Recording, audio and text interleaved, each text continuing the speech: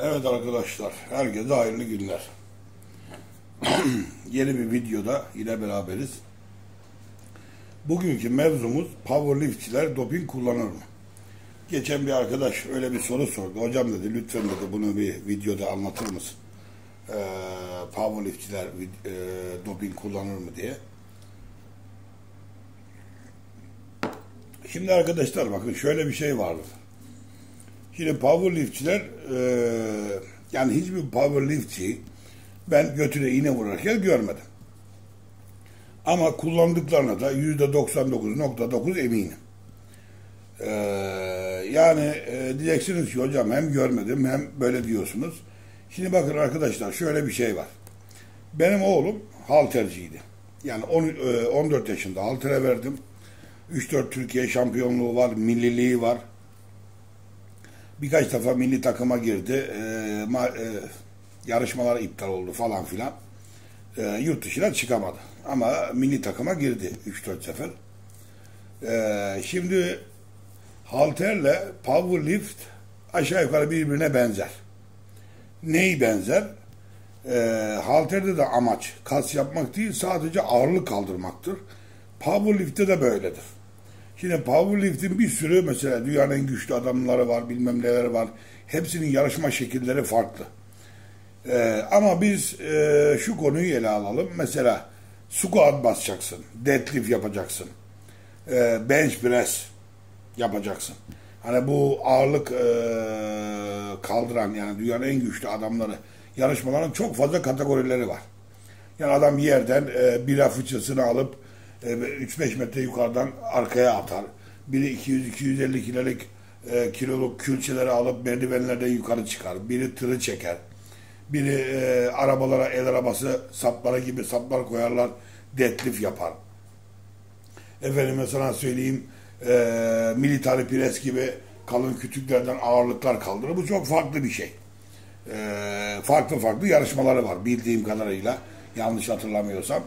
Ama biz şunu ele alacağız. Mesela squat, e, deadlift, efendim mesela söyleyeyim e, bench press. Şimdi bu, bu şöyle bir şey bakın. Şimdi vücut geliştirmede kas yapma amacıyla bu işi yapan insanların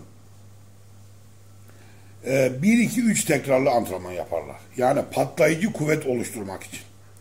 Şimdi siz mesela diyelim ki 100 kiloyla bench press yapıyorsunuz. Bir vücut geliştirmeci e, kabul edelim. Artı bu adam natural. Atıyorum bir sene iki sene çalıştınız 100 kiloya 120 kiloya çıktınız. Squat'ta da böyle, deadlift'te de böyle. Ee, şimdi mesela şöyle örnek vereyim. Geçen bir videoya yayınlamıştım. Engin diye bir arkadaş 220 kilo e, deadlift yapıyor e, diye. Öyle, öyle bir video yayınladık. Ben o çocuğun 250 kilo deadlift yaptığını da gördüm. Yaptı yani. Şimdi bak bu çocuk sıfır hormon kullanmıştır. Arada bir protein dozu, BCA falan filan almıştır. Ee, şimdi bu 250 kilo deadlift'i natural yapıyor. Artı bir de powerliftçi gibi çalışmıyor. Antrenmanını o şekilde yapmıyor. Yani ben Engin'in şahsen o şekilde çalışmasıyla yani 300-320 kilo deadlift yani powerliftçi gibi çalışsa 300-350 kilo arası deadlift yapacağına eminim. Nedir bu de, e, powerliftçi gibi çalışmak? Yine powerliftçiler 1, 2, 3, 4 tekrar yapar en fazla. Ee, çoğu zaman bir tekrar yapar, 2-3 dakika dinlenir, 2 tekrar yapar, 3-4 dakika dinlenir. Yani powerliftçilerde veya haltercilerde dinlenme süresi 30 saniye, 1 dakika, 2 dakika değil. Ee, en az 3 dakika dinlenir. Bunu tek tekrar, iki tekrar maksimum denerler. Şimdi ama bunu e, şeyde yapsak yani vücut geliştirmede yapsak 1-2-3 tekrarlar kas gelişimi için uygun değildir. Yani kası çok fazla geliştirmez. Kaldı ki haltercilere bakın birçoğunda doğru düz kas bile yoktur yani. Ee, o kadar ağır kilo yapmalarına rağmen. Yani powerliftçiler 1-2-3 tekrarlı antrenman yapar yapabildiği kadar ağır. Ee, yani şimdi bir insan 120-130 kilo e, vücut geliştirme raconuna göre antrenman yapan bir insanın 120-130 kilo yapıyorsa bench press'i veya squat'ı veya deadlift'i bunları 1-2-3 tekrarlı yapıp Ki e, her gün de antrenman yapabilirler bu sporcular. Çünkü kas gelişimi, kasın dinlenmesi falan önemli değil. Yiyebildiğin kadar ye. 130 kilo vücut geliştirme raconuna göre bench press yapan bir insan bunu 1-2-3 tekrarla yaptığı zaman diyelim 10 set 15 set yapıyoruz ama bir tekrar 2 tekrar 3 tekrar biraz ısına ısına gidersiniz 2-3 tekrar ondan sonra 1-2 tekrarlı yapabildiğiniz kadar maksimum ağırlığı denersiniz. Bunu bu şekilde yaptığınız zaman 130 kilo bench yapan bir insanın zaten 1-2 tekrarla yaptığı zaman bu 150-160'a çıkacaktır. Ee, biraz bu şekilde 5-6 ay çalıştığı zaman yani 130 kiloyu natürel olarak vücut geliştirme raconuna göre çalışan bir insanın powerlifter raconuna göre geçtiği zaman 5-6 ayda veya bir senede 200 kiloya çıkacaktır. Belki de daha da fazla. Adamın orijinal kuvvetine bağlı veya çıkamayacaktır. Çok fazla bir orijinal kuvveti yoktur. Belirli bir noktaya çıkar. Yani bir Allah vergisi, bir genetik kabiliyet de budur işte. Yani Engin örneğini verdiğim gibi. Bak Engin mesela 1-2 tekrar 180-190 natural olarak bench press yapar. Yani 170-180 kiloyu da 6-7 tekrar yapar yani. Ee, orijinalinde öyle bir kuvveti var lavuğun. Bu şekilde çalışırsanız atıyorum 200 kiloya çıktı veya Engin'i ele alalım 250 kiloya e, kadar deadlift'i yaptı. Bu adam ilaç kullansa powerlift e, rajonuna göre çalıştığı zaman ben eminim ki 350 kiloya çok rahat çıkar. Çünkü ben hormon kullandığım zaman yüzde 30-40 güç arttırıyordu. Yani ben 120-130 yapıyordum mesela natural olarak 7-8 tekrar. 4. 5. sette. Ama ilaç kullandığım zaman bu emin olun 180 kiloyu ben 8 tekrar yaptığımı bilirim. Ki daha da fazlasını yapabilirdim. Kollarım kırılır diye amına koyup basmıyordum. Yani bu kadar yükü insan kemiklere taşır mı diye şüpheye düşüyordum. Efendim mesela söyleyeyim. E, bu şekilde çalışılırsa e, yani Engin'in 350 kiloya çıkabilir. Belki de 400'e de çıkabilir. Hani sen atıyorum 150 kilo e, deadlift yapıyorsun da bunu 200'e çıkardın. Sen de 300'e çıkarsın herhangi biri. Ama çıkar illaki. Güçlenir insan. Şimdi bu antrenman metoduna göre değişir. Yani çok tekrarlar devam eden e, kas dayanıklılığı oluşturur. Yani 40, 50, 30, 100 neyse e, şey yapıyor, tekrar yapıyorsunuz. Bu devam eden bir güç kas dayanıklılığı oluşturur. 8, 12, 15 tekrarlar da kas gelişimi için uygundur. 1, 2, 3 tekrarlar da güç arttırmak için uygundur. Bu işin raconu budur arkadaşlar. Bu şekilde çalışmak lazım. Çok iyi beslenmek lazım. Yani powerliftçiler de böyle illa yüksek protein bilmem ne çok da önemli değil. Basacaksın karbonhidratı. Sağlam idman yapacaksın. Tabii protein de alacaksın.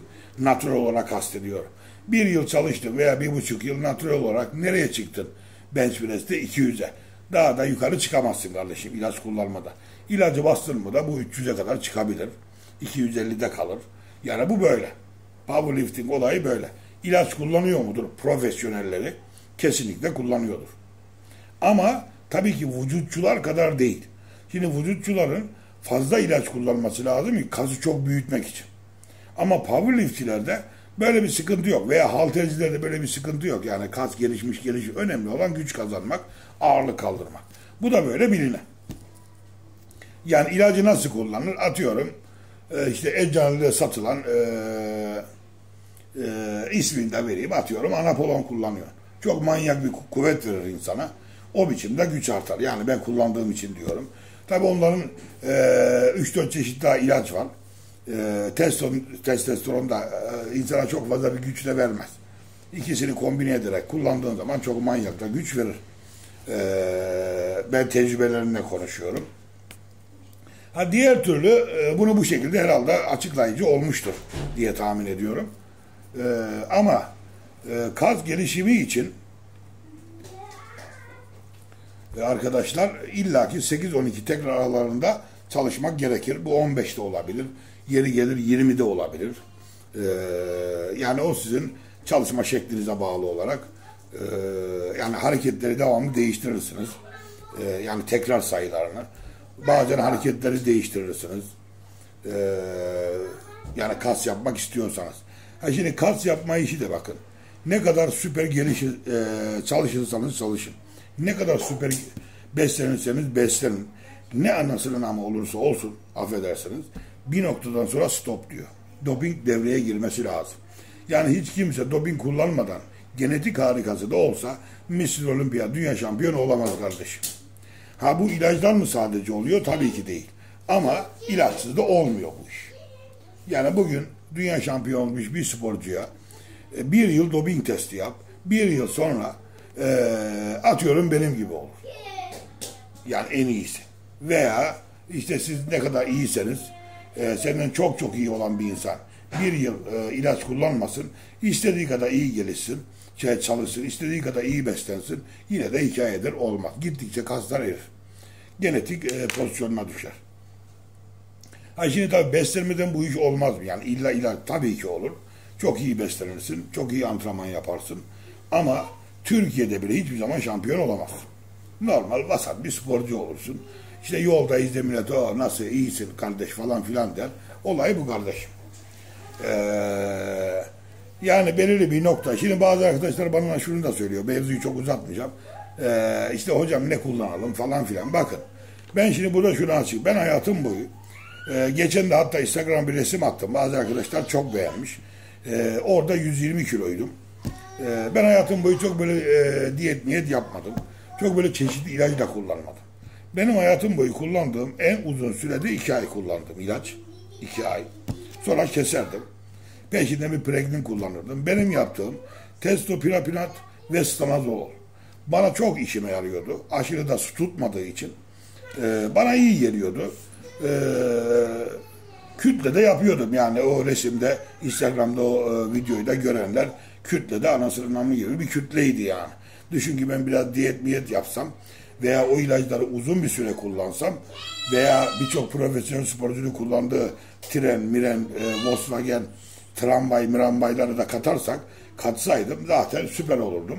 Ama tabii bu şampiyon olana da lafı, e, laf ettiğim yok. Bence adamlar işi raconuna göre yapıyor. Bunu kullanması gerekir.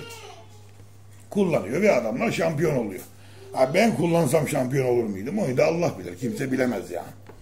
Ee, yani benim e, hayatım boyu yaptığım e, testopirapinot ve e, stanozol veya Winstrol. ikisi aynı şeydir. Biri enjekte, biri şeydir zaten.